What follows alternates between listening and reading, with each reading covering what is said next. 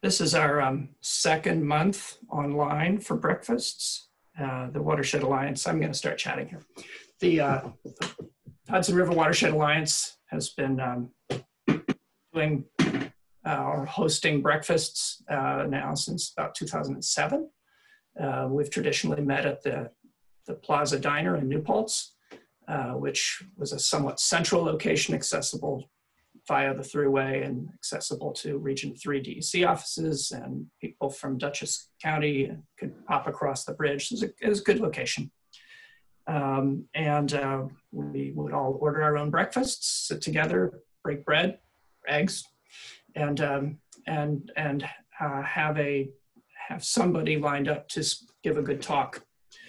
Um, and so we're we're exploring that model now online and uh, thank you for joining us this morning. Um, the normal model is that we end right on time, so um, we will end at 9.30. Um, I'm going to ask Emily to speak briefly here. She's got a couple Watershed Alliance announcements. Yeah, hi everyone. Good morning and, and welcome to our modified breakfast lecture here uh, via Zoom. I just wanted to mention um, Carol Roper has passed away and, and recognize and remember Carol. She was a longtime breakfast lecture attendee and she had considerable community service in New Paltz that, that she was really known for. So I wanted to, to just take a moment and recognize and remember Carol. Uh, she'll certainly be missed here by the Hudson River Watershed Alliance community as well as the New Paltz community. So I just uh, wanted to say that just just to start and start on sort of a somber note. Um, I also wanted to recognize the Hudson River Watershed Alliance board members who are on our Zoom webinar today. We've got Mary McNamara, Nicole Leibel, Phil DeGatano, and Kate Meyerdirks, and maybe a few others who uh, I haven't noticed yet, but uh, thank you to the Hudson River Watershed Alliance board, and thank you for joining us this morning. I also wanted to mention that the Hudson River Watershed Alliance is holding our annual awards benefit as a live stream event since we can't meet together in person. So the Toast to the Tribs will be on Tuesday, June 2nd as a live stream at 7 p.m. And you can register and get more information on our website. Uh, we'll be recognizing four Watershed Wavemaker awardees that include Peter Smith from the Quassaic Creek Watershed Alliance, and I saw that Peter is on the webinar this morning. We'll be recognizing the Upper Hudson Watershed Coalition, the Albany Water Department, and Hudson River Sloop Clearwater for all their work in the watershed. So sign up for the Toast to the Tribs on our website. Uh, it's available as a live stream. We uh, encourage donations, but we want it to be available to anyone who wants to tune in and watch. Thank you, Emily. Um, we've perhaps been remiss in, with introductions. Emily uh, Vail is the executive director of the Watershed Alliance, and um, I'm Russell Urban Mead. Uh, until uh, last December, was on the, the board of the Watershed Alliance, and have delighted to continue volunteering to uh, organize these breakfasts. So um, let's see. Uh, I think we are enrollees have kind of stabilized for the morning here, so we're going to introduce our speaker. We're delighted to have Tim Koch here today. Um, you all know from the promo material, but just to say it briefly, um, Tim attended SUNY ESF, uh, has a master's degree in um, watershed hydrology and, and, and uh, biochemistry, um, and is currently working at um, the um, Cornell Cooperative Extension, Ulster County, uh, sponsored by the, um, and working on, uh, on stream programs, uh, developing uh, science-based education and stream process to uh, municipal officials and residents in the Ashokan Reservoir watershed. delighted to have Tim here today.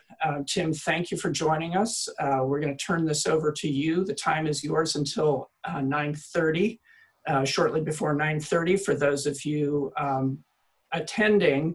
Uh, Emily will read off any questions that you post in the, the chat um, column.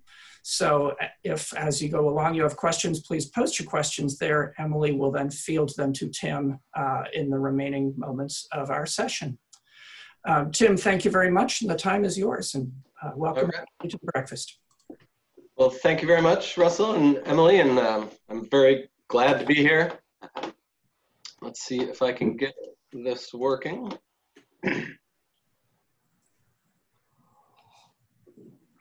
Okay. So yes, um, Russell, Emily, thank you again, and thank you everybody for joining. And I hope you enjoy your breakfast as you hear a little bit about why messy streams are healthy streams. And so uh, very quickly, just talking about the Ashokan Watershed Stream Management Program. Uh, the AWSMP is a collaboration between Cornell Cooperative, who uh, I work for, Ulster County, as well as the Ulster County Soil and Water Conservation District and the New York City Department of Environmental Protection. And they are the primary funder of the program. And so those three agencies, we all work together collaboratively to try to maintain and improve stream health in the Ashokan Reservoir watershed, uh, which you can see here. 450 miles of streams. Uh, it's a 255 square mile watershed, with about 95% of that uh, being forested. And as you can see, so we work with five different town governments. We have a number of different hamlets and villages and population centers. And uh, ultimately, all this water gets to the reservoir, which provides about 40% of New York City's daily water use needs, which currently, if I remember correctly, is about 9 million people using just over 1 billion gallons of water a day. So pretty, pretty massive system that we are just uh, one part of. Uh, so before we go forward, I do want to sort of give credit where credit's due. I, I didn't, I was very limited in my time at the, uh, at the conference last October, so I didn't get to give as much credit as I'd like to. Uh, but I would like to call out the work of Dr. Ellen Wohl. Um, this talk, the, the, name of the talk, and a lot of what I'm going to be speaking about uh, is based around her work.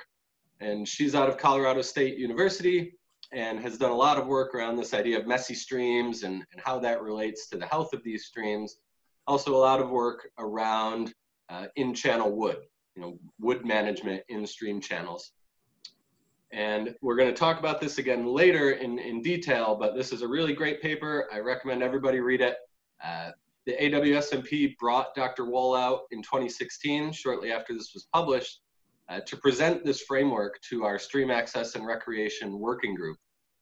And uh, we'll, we'll, talk about that a little bit later, but since that talk, that the group has uh, approved this framework as a way to manage wood in the watershed. And we've been implementing it since about 2017, 2018. And so we'll go, we'll go through that uh, much later, but did want to call out the work of, of Dr. Wohl here. So for folks that were at the Alliance's annual conference in October, um, you know, this might look a little familiar, but I had 15 minutes then and I have about 40 minutes today. So uh, it's not going to be a repeat of the same presentation. I got a lot of questions after the conference talk, and so I was able to really go in and expand on those areas where I got a lot of questions. So hopefully it'll be different, um, not a rerun. But what we're going to do is we'll start out talking about just healthy streams and messy streams, what they are, um, where we get messiness in streams and, and variety in stream systems and what that means, the implications of that. We're going to get into some pretty hard sort of stream science there, but then we'll back off a little bit and we'll look at this idea of a, of a baseline of perception. And when we think about streams, whether it be healthy or messy streams, you know, what is our baseline? What are we considering considering normal? What are we considering natural when it comes to streams? And where is that baseline? And then we'll sort of reconcile those two things, what the science is telling us and, and sort of what our gut is telling us. And those don't often agree or don't always agree, I should say, and that creates some challenges to responsible stream management. And we'll end with bringing that all together and, and how can we take this science and how can we take these gut feelings about streams, how do we put them together and, and get to a place where uh, we are using the best stream management that we can that works with the natural tendencies of streams. So to start out with healthy streams, you know, if you say healthy streams, probably almost everybody jumps right to chemical water quality. Uh, you know, you can look at the impaired water body list, the 303D list. Are, are these streams meeting their designated uses? Another way to look at stream health is a little bit more integrated by looking at the biology, especially the benthic biota, the macroinvertebrates, and using that as a barometer to look at stream health. And in our program, we really emphasize this idea of geomorphic channel stability. And a, a stream really needs to be geomorphically stable to be healthy as well. Um, so it's not only just water quality. And I'll take this opportunity to shamelessly promote myself in that I recently uh, posted a video on our YouTube that goes into geomorphic sta channel stability and defines it um, in hopefully easy to digest terms. So it's about a nine minute video and it's really, hopefully it's a good introduction to fluvial geomorphology and what I'm talking about when I, when I talk about geomorphic channel stability. When we were testing out the links this morning, uh, it doesn't seem like you folks will be able to click these or even copy the text. Um, so hopefully at the end, I can put in uh, these links into the chat or somebody can put the links in um, so that you can access. You, you can see my st stability video here, but I also do want to promote uh, some other work of my colleagues in the program that are posting videos as well, especially our youth educator, Matt Savacki, and our program assistant, Amanda Cabanillas, who are putting up tons of videos for youth and have these really cool activities that you can do and you can follow along um, with the kids talking about stream cross sections and assessing culverts and, and a whole bunch of different videos. And, and we're putting stuff up uh, pretty regularly here in our social distancing quarantine phase so you know please check that out some really great materials there and so moving forward uh, you know i don't think many people would argue that these look like two healthy streams here. All the photos you'll see, I think all the photos, uh, come from the Ashokan watershed, so it's a pretty local talk. Uh, like I said, it's a lot of this is based on Dr. Wohl's work, but sort of localized here within the watershed and within you know upstate New York in general. So we've got the Esopus Creek and the Little Beaverkill. They, they look like beautiful, healthy streams. But when we start getting into some of these other streams, um, you know, it, it's not quite as clear, I don't think. And, and I do encourage you to sort of step out of your, your uh, pro river bias and, you know, all the experience you have with rivers and streams and, and think about someone in the general public seeing this picture and what they might think about this stream and is it healthy or is it messy and, and how those two things relate to each other. So this is a picture of the Esopus after a flood back in 2005. Um, but it's a, it's a good picture to sort of talk about these three main things that we're going to be talking about today in, in this idea of messiness in streams. So we're talking about depositional areas um, where we're getting sediment deposition and depositional bars, and perhaps that's even to the extent where we're starting to get multi-thread channels. And a, a big thing we're going to talk about today is this large woody material in streams. Um, you know, a lot of that's a, it can really look messy really quickly. And um, so these three things together, you know, are going to be our main sort of messy features that we're going to talk about. And these are also features that introduce this idea of physical complexity. So we'll use that term a little bit. Synonymous with this idea of messiness. So, you know, where do we get variety and complexity and messiness in streams? You know, water flows downhill, but probably most of us here know that it, it doesn't do it evenly. Uh, it kind of does it in fits and spurts. But when you look under the surface of the water, that you start to see even more complexity.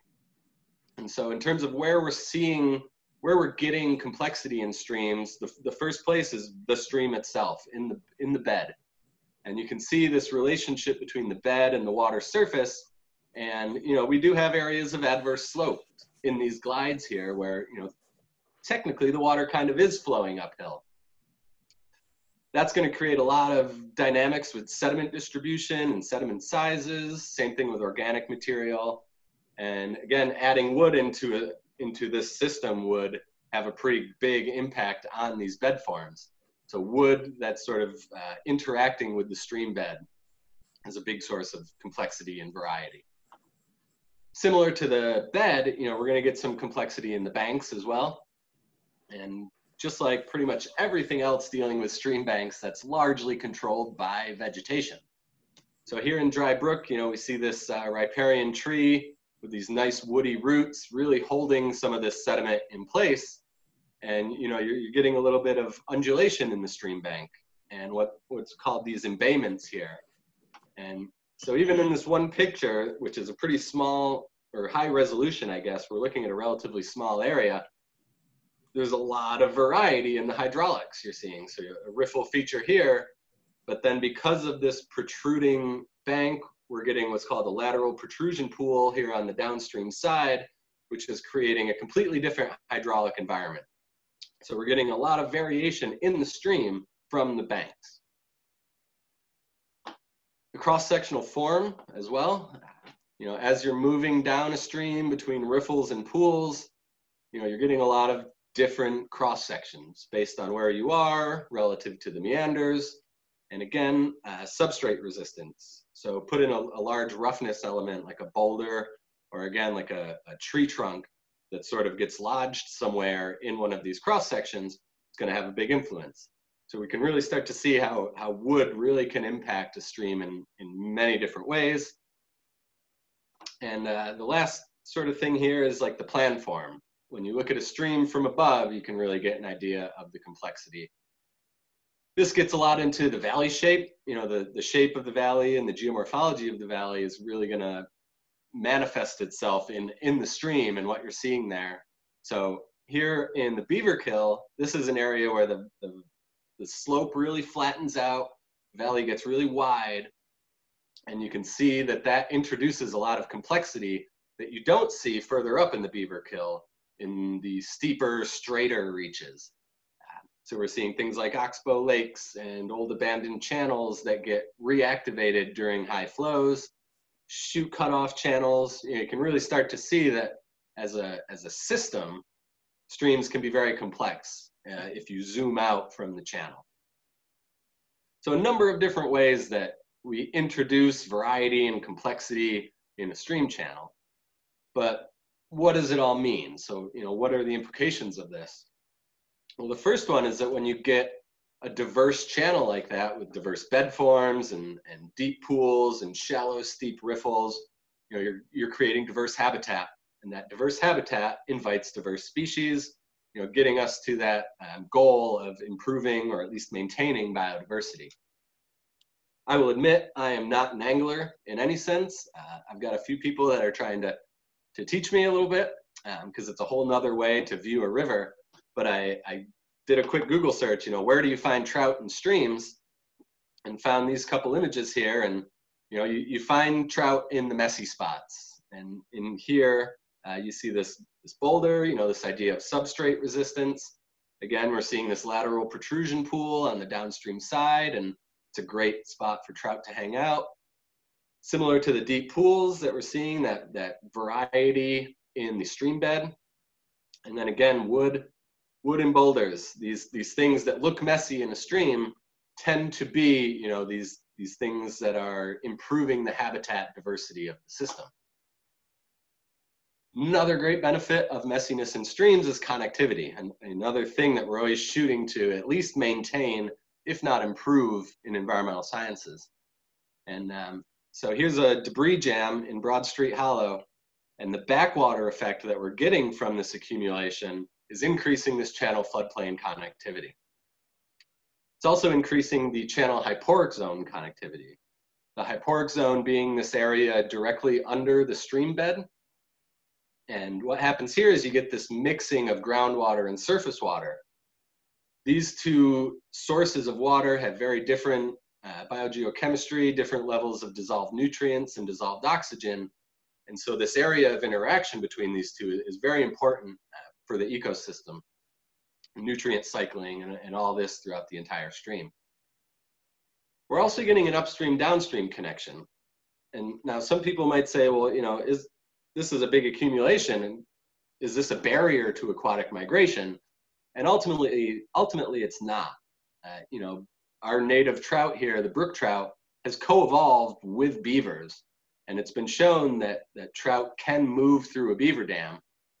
And uh, you know, a standard wood accumulation like this is, is probably going to be even more porous than a beaver dam. So, you know, really fish are not gonna have much of a problem getting up here. The connectivity improvement that we're seeing is, you know, this wood accumulation is creating a very unique feature here. This Broad Street Hollow is a pretty steep sort of cascading step pool system.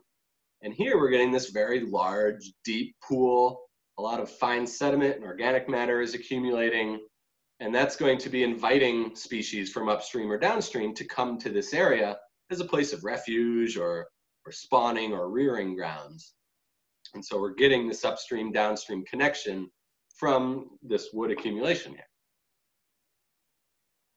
Uh, we're getting retention because of especially log jams and, uh, and accumulations here. So this picture is uh, one of the headwater streams of the Esopus Creek. It's a, a high transport, high energy reach where, and it's typically a bedrock reach. But what we're seeing here is that this accumulation of woody material is, is holding some of this material back.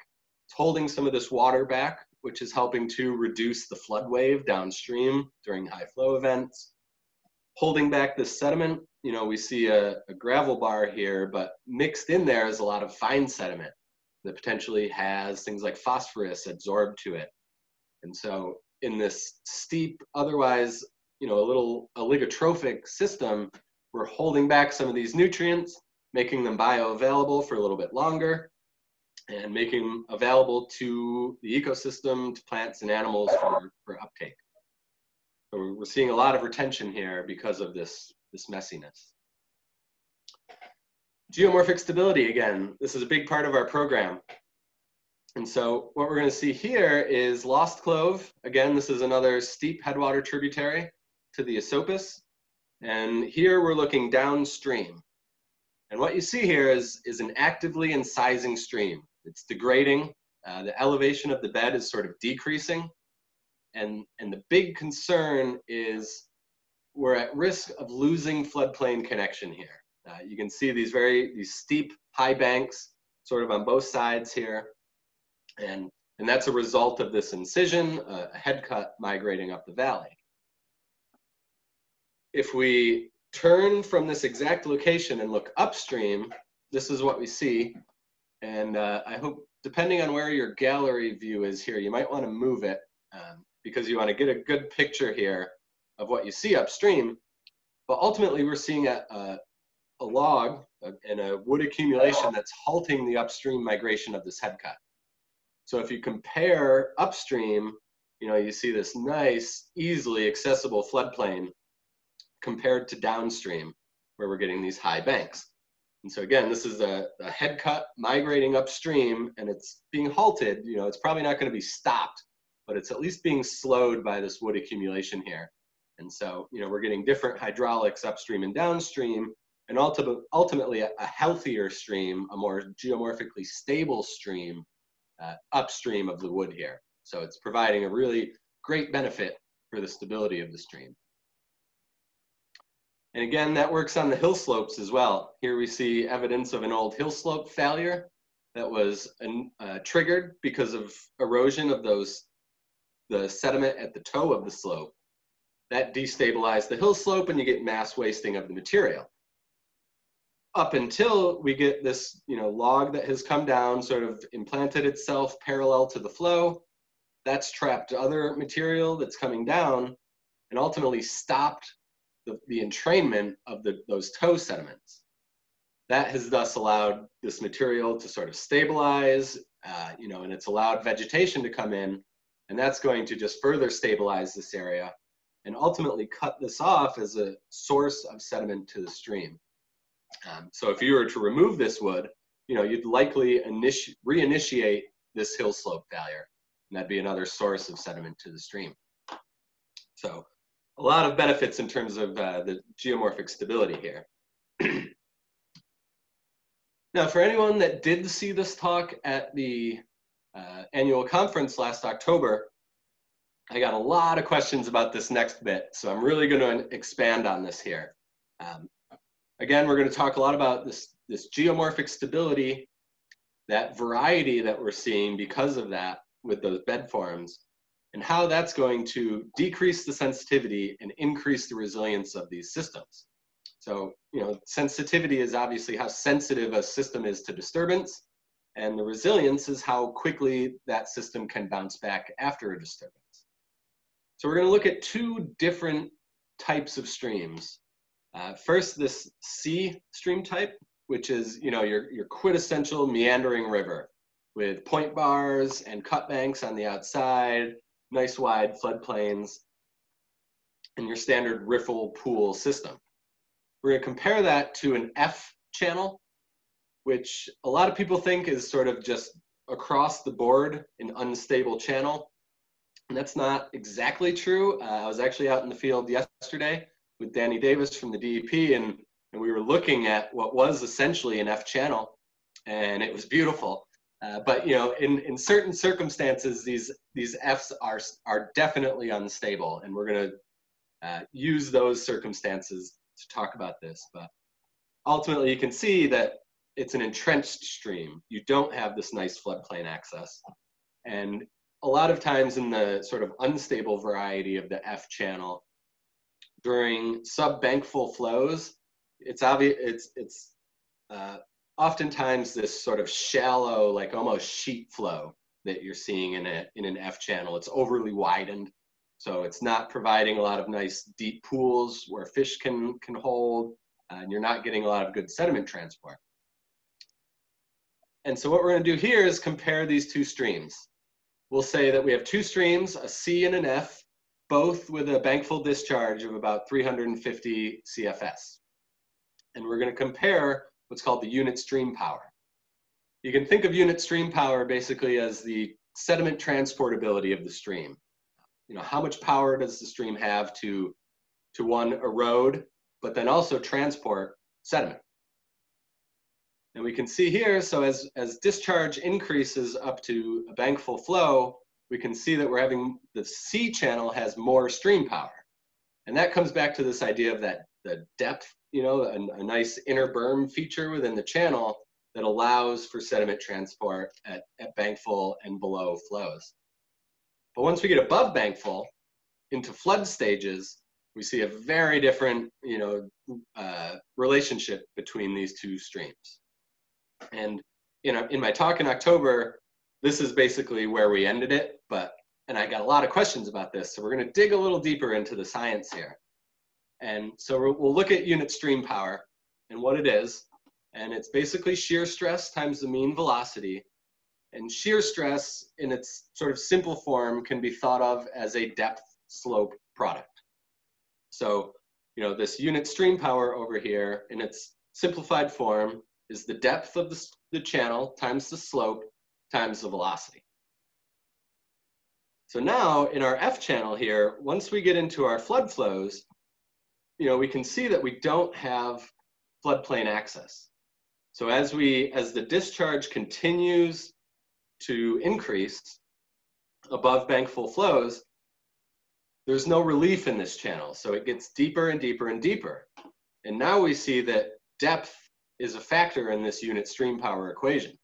So the depth just keeps increasing as the discharge does, and that unit stream power keeps increasing accordingly. When you compare that with the C, with this nice, easily accessible floodplain, once you get above bankful discharge, the stream spills out onto the floodplain. As discharge continues to increase, the stream's actually getting wider much quicker than it's getting deeper. So, you know, we've sort of cut, cut off this depth factor in the equation here, and thus we've stopped this increase in unit stream power. Now, what a lot of people ask me after our conference is, well, why doesn't stream power plateau up here? You know, once we get above bankful discharge, our depth isn't decreasing. So why do we see this decrease in stream power? Now, I'm not an expert on, you know, uh, open channel flow or, or the, the details of, of hydraulics in a channel, but the way that I understand it is when you have bankful and below flows, you know, all the flow is contained within the channel, and you have flow going this way, as you go into a meander bend, you have centrifugal force comes into the equation. And that creates these sort of these secondary circulation currents coming around the meanders. And these secondary circulation currents are very important in sediment transport. And ultimately, this is why pools don't get filled in with sediment after large flows because they're worked through here. But you get above bankfull and you get flow on the floodplain, that floodplain flow starts interacting with the channel flow. And so here you have floodplain flow dipping back into the channel and it's disrupting those secondary circulation currents. So that's why we see this drop in unit stream power in a stable C channel in greater than bankfull flows. So, you know, coming back to this original screen, we can really see now that an F channel, you know, in a in a valley setting where that's not the stable form, is going to be much more sensitive to flood events because of this increasing unit stream power. And it's going to be less resilient because after the flood, it's going to have a lot of repairing to do. And that could take a very long time. As opposed to the C channel, where these flood events are not, you know, the, the channel is not as sensitive to the flood because of that floodplain access and that reduction in, in unit stream power. So that was some pretty heavy science, and I'm going to take like a five second break with a silly picture of our AWSMP staff um, to, to refill my coffee here before we move into the, the next stage.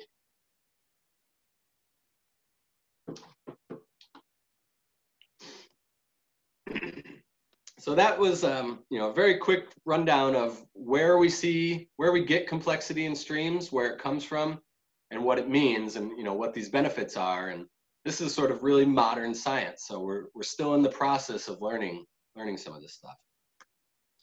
But now let's step back and, and think about you know how we think about streams and, and think about why we think about them that way. And it comes down to this baseline of perception. You know, what do we perceive as a healthy stream? What do we perceive as a nor as a as a normal stream, as a functioning stream, as a natural stream? But it's important to realize that humans have been modifying streams for a very, very, very long time. So in terms of what a, a really, truly natural stream is, um, it's a very tough question. This is a dam that's still functioning today. It was built 4,000 years ago in Syria. So 4,000 years. When I was sort of looking for these old examples, you know, this is coming from Wikipedia, but it did have some pretty good sources. I did check the citations at the bottom, but there's some evidence that the, the Nile River was channelized during construction of the Great Pyramids, so 6,000 years ago. We have the great inventor, uh, Leonardo da Vinci, you know, who was who was drawing up flying machines and, and things like that during the Renaissance. And he was also scheming up ways to dredge rivers. So it's been a very long time since we've been messing with streams to sort of, uh, you know, have them do what we want or to be able to utilize them in the ways that we want. But what about, you know, so those are all sort of Middle East and, and European examples, but what about here in the, in the New World? Uh, you know, what's, what's our baseline of perception here? And, you know, we, at least I don't really know a lot about, you know, how the native populations might have modified rivers or, or to what extent. And I haven't really seen a lot of research on that. So in this region, I guess, you know, in, in North America, our baseline of perception is really our oldest written records. And those are coming from the explorers and trappers and sometimes the military personnel of the, of the 19th century largely. So I'll give you a second to, to read these sort of accounts of streams from the, the early to late 19th century.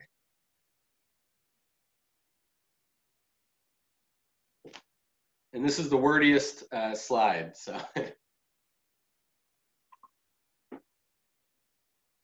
But what I'm hoping you, you take away from this slide is that it, uh, you know, streams seemed to be a lot messier. Uh, you know, you think about the Hudson River or even the Esopus Creek where we are, or you know, whatever your biggest stream is, the Wallkill, the Plattekill, uh, you know, whatever it is, if you saw a log, a log jam every 100 feet, you know, what would you think about that stream? Is that what you're seeing out when you're when you're paddling or when you're hiking these streams? Not so much, uh, at least in my experience. Another thing to think about in terms of this idea of the baseline of perception is during that time, you know, that 19th century, there used to be many, many more beavers, and we basically decimated during them them during that time, and they're now starting to, to recover and come back. So as many beavers as we have today and as much nuisance as they can sometimes create, there used to be a lot more of them. So you can assume that more beaver dams, you know, more down trees entering these channels. So some Canadian researchers kind of came to this conclusion that prior to European colonization of the Americas, wood in streams was at least one to two orders of magnitude higher. So a lot of lot more wood in the channels than what we see today.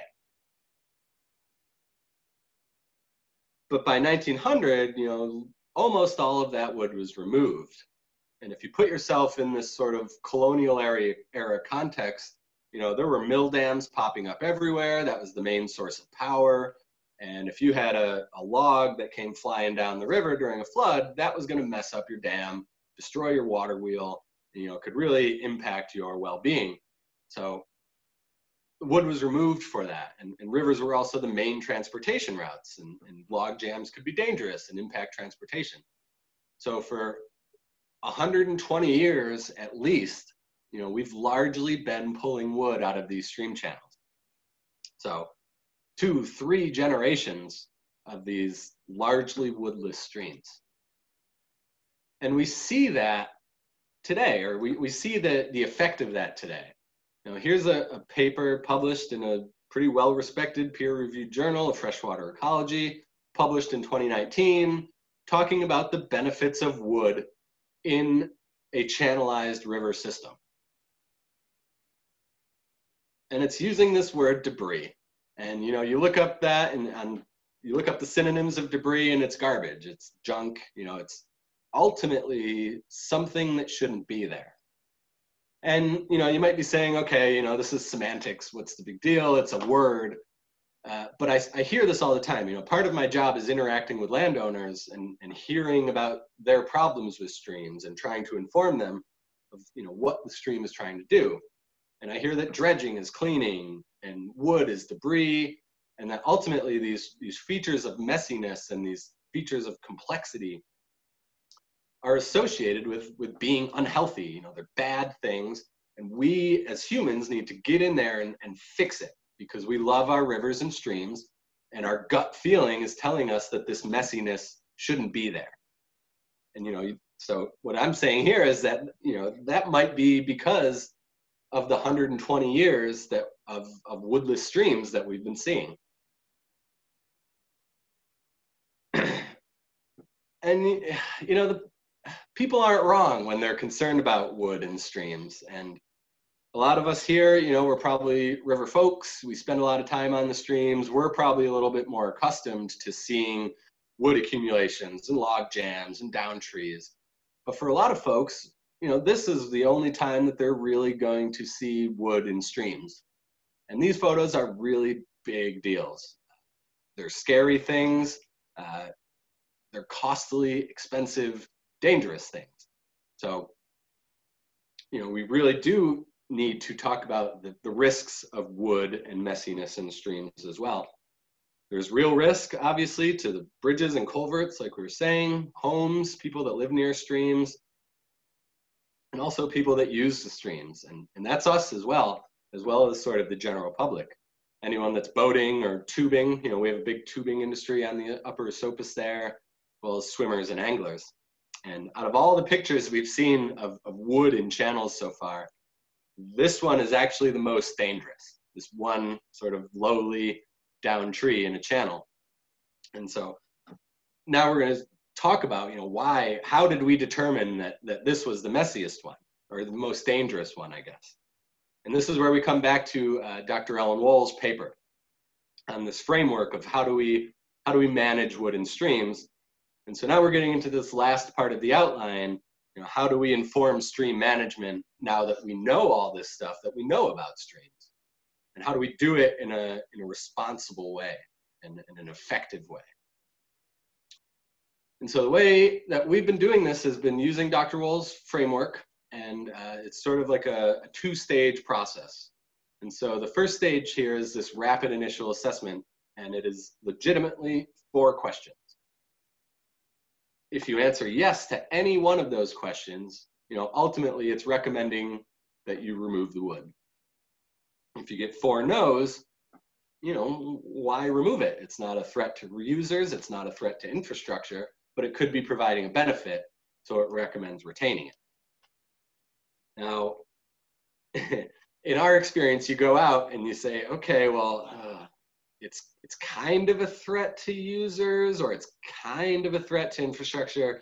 So if there's any sort of questions or qualifications, basically uh, Dr. Wohl's framework is saying go to step two.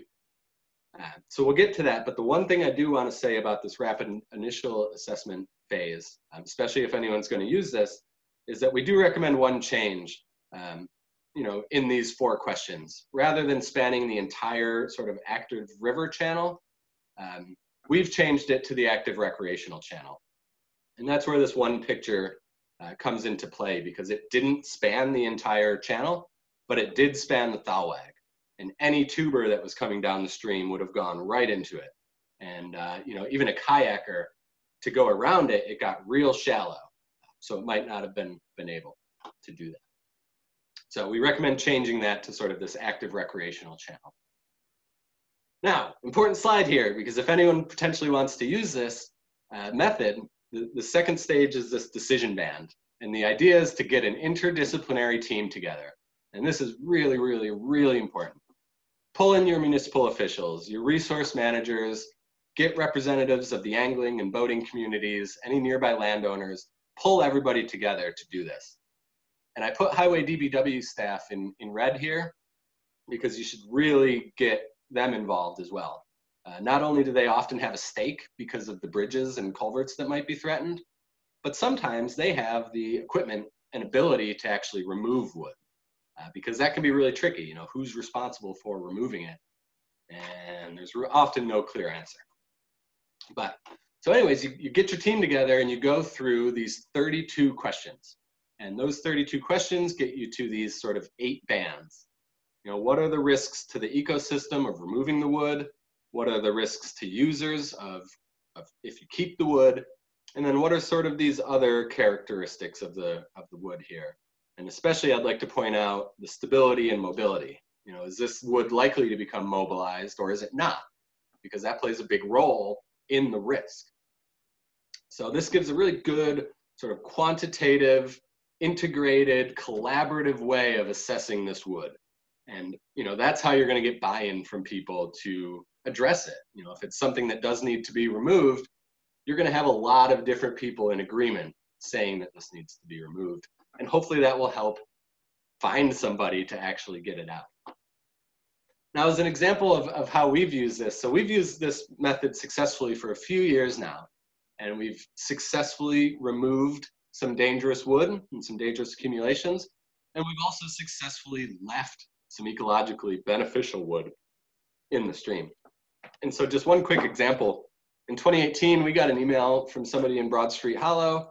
There was some trees that had come down in a snowstorm recently, and it was backing up the wood or backing up the water behind it. And uh, you know, the person was really concerned about flooding and and um, some other legitimate concerns.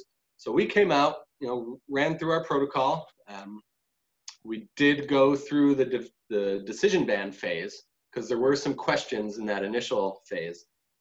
So we went through it all and decided to leave the wood. But the, the person that wrote this email, you know, when I, when I wrote back to them saying, you know, our assessment recommends leaving it, uh, it wasn't really what this person wanted to hear. That you know, that didn't alleviate her fears of being trapped in this valley or of having her road to her house, you know, be inundated or destroyed or being cut off. And um, so, you know, I'll be honest, when I got this email, it really kind of hit me because I was, it's like, oh, well, you know, I hope nobody gets hurt, but it's really, it's also not my responsibility to remove the wood. And that gets into a whole legal question of, of whose responsibility it is. But, anyways, the, the point of this was a year later, I was going out monitoring this wood to see if anything had changed, was taking some pictures, and I ran into this person and was able to start a dialogue right there on site, looking at the accumulation.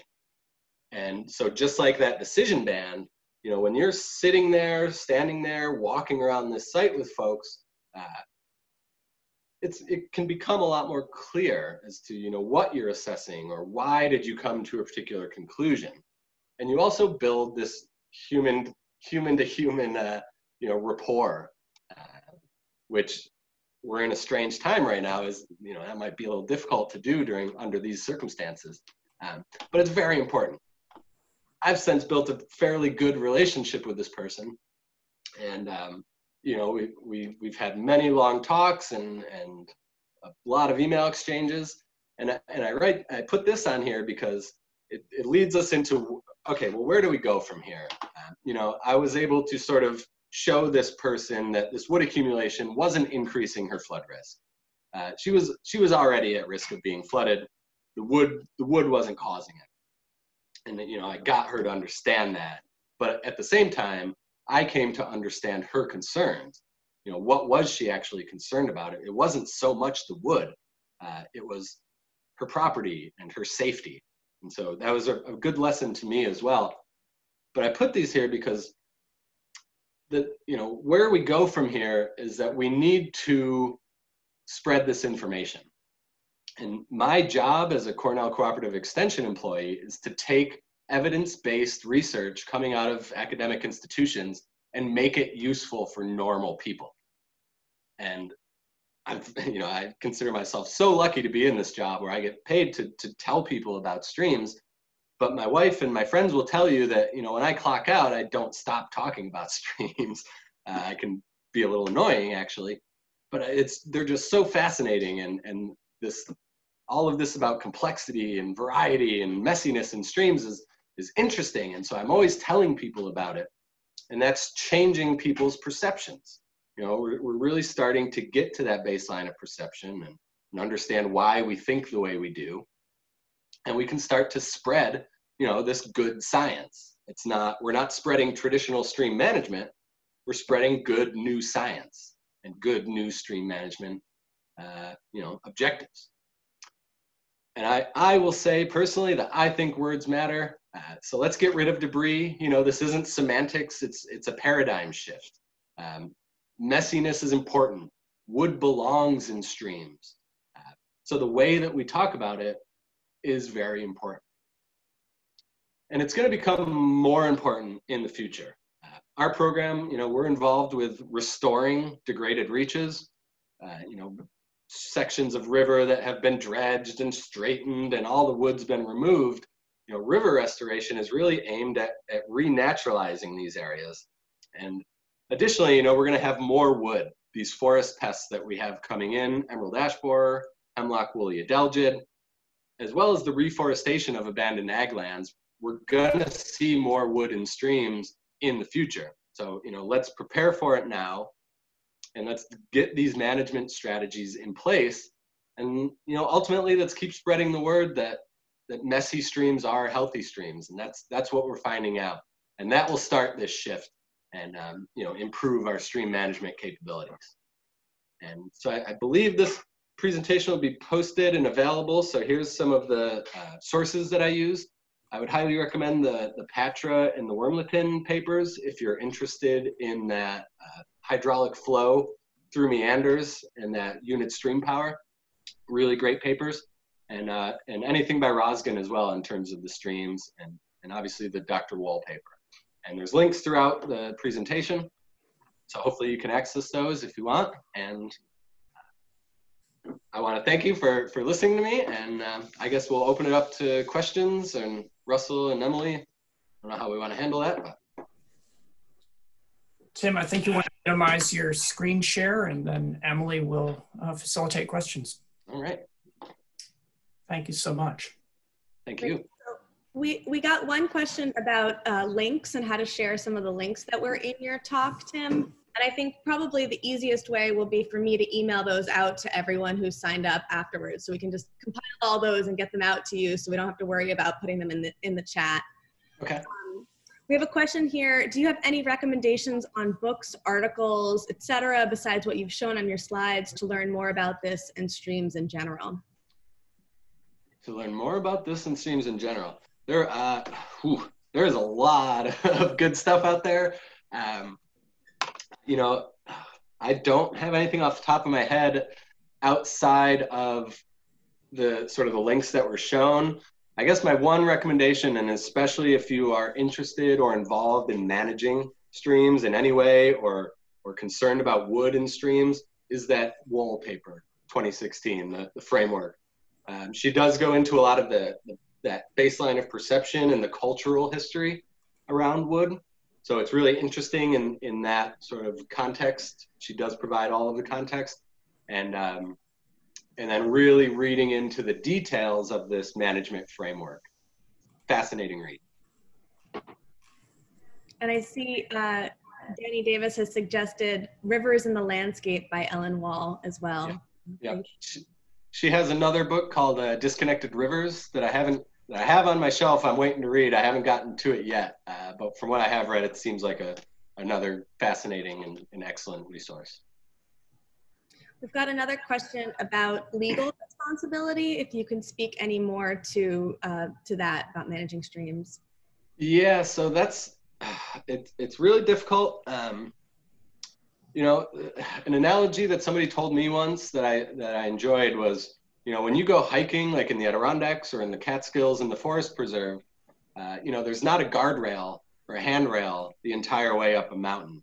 You are assuming some inherent risk when you go out into that area. And streams should be thought of really in the same way um, that there is some inherent risk, and you you need to accept that before you go out on the river.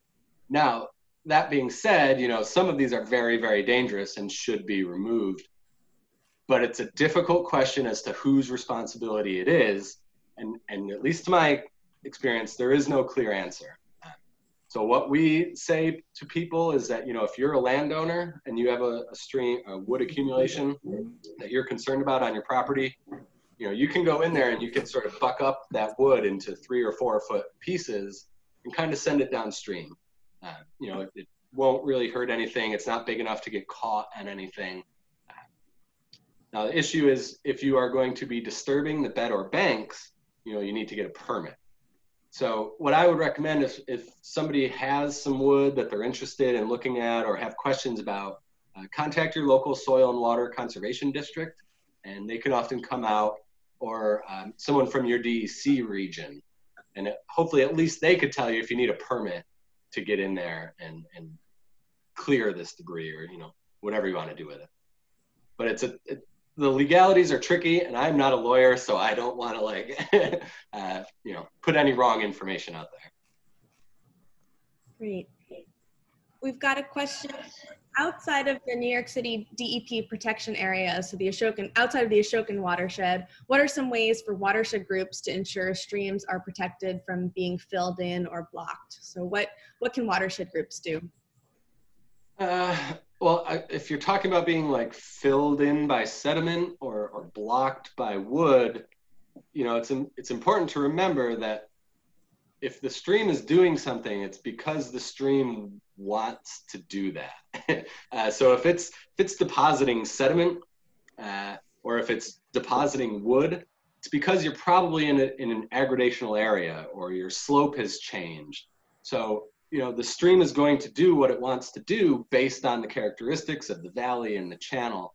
So um, you know trying to fight against the stream is really counterproductive.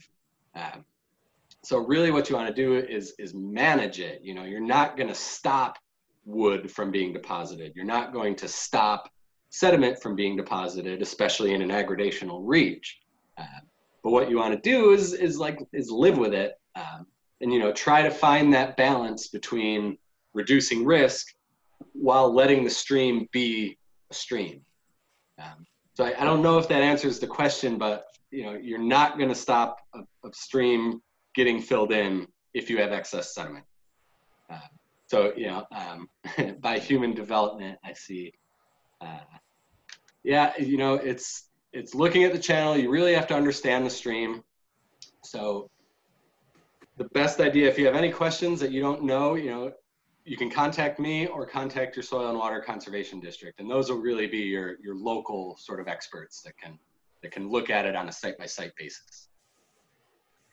And I'll note that uh, Brian Drum suggests Googling NYS DEC woody debris for information on removal and permitting requirements. If, if those of you out there still have questions on permitting, uh, Brian is apologizing that it still says debris. So And also, uh, our program as well has also put out like a similar fact sheet. So if you're, you know, exploring the AWSMP website, uh, we also have a, a guide on, you know, how to manage uh, woody material in the stream.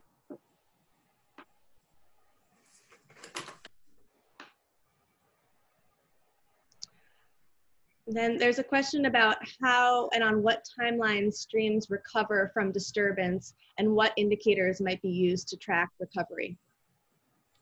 Um, sorry, what was the last bit? Indicators of recovery? Is that what it was? Okay. Um, wait, so sorry, could you repeat once more?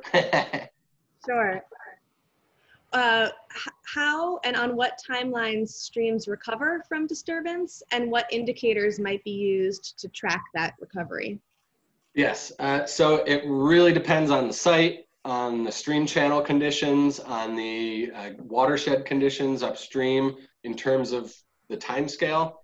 Uh, you know, sometimes you can see drastic change very quickly, and sometimes it's a much more, it's much slower process. It definitely depends on if you get a flood. You know, if we get a flood next week, uh, things are going to be a lot different than we're looking at today. So it does really depend. It's a site to site sort of you know issue. But in terms of recovery from a channel especially in terms of like bank erosion and mass failure and, and mass wasting of hill slopes that we saw in some of those pictures um, vegetation. Vegetation is just so important. And if you see uh, or if you have a landslide that kind of comes down and a mass failure and you're, you're starting to see growth of especially woody vegetation uh, that's a very good sign that that area has been stable long enough to allow you know a woody shrub or even a tree sapling to get established and then to grow for a few years if that site was was still actively adjusting or actively slumping you know you're not going to get that establishment of, of woody veg and so that that's probably one of the best ones is, is look for the vegetation Ryan, I think better jump in. Uh, it's 9:30. Um, I want to thank everybody for attending today. Um, our speaker next month is going to be Brian Yellen from UMass Amherst, talking about the sediment study work that uh, a consortium of academics and practitioners have been working on, examining the fate of sediment that might be released from dams if there were a, a, a lot of dam removal taking place in the Hudson Valley, the impact on the Hudson River. So that's a very exciting presentation I'm looking forward to next month. Um, Tim, wonderful presentation. Thank you so much. thank you Emily, uh, and those of us associated with the Watershed Alliance, thank everybody for attending today. And thanks very much. We'll see you next month. thank you